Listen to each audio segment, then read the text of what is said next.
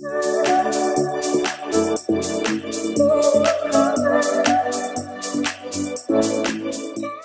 don't like how the weather is changing. Gomu, I'm scared. I don't want to die without marrying you.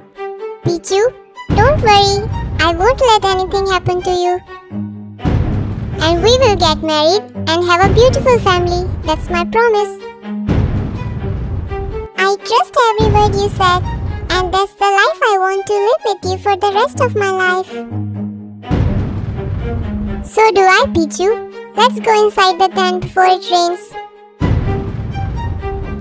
Sleep well, my love. Everything is fine.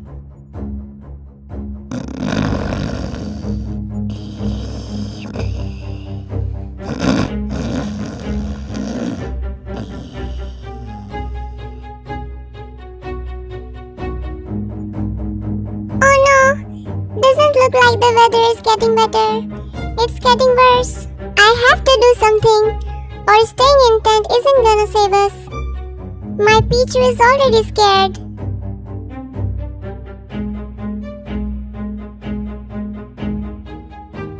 Where's my Gomu? He shouldn't have gone out in such weather.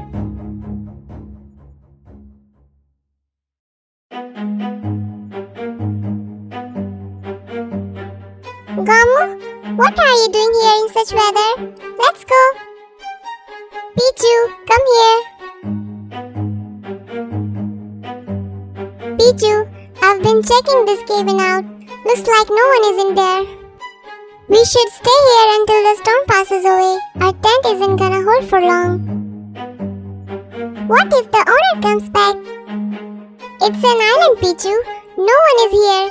Let's stay inside and we leave as soon as the storm gone. Wow, Gomu, it's the perfect place to hide. Now I'm not scared of the storm. I'm so glad to hear, Peachu. Now let's eat and rest. Hmm, who is inside my cabin?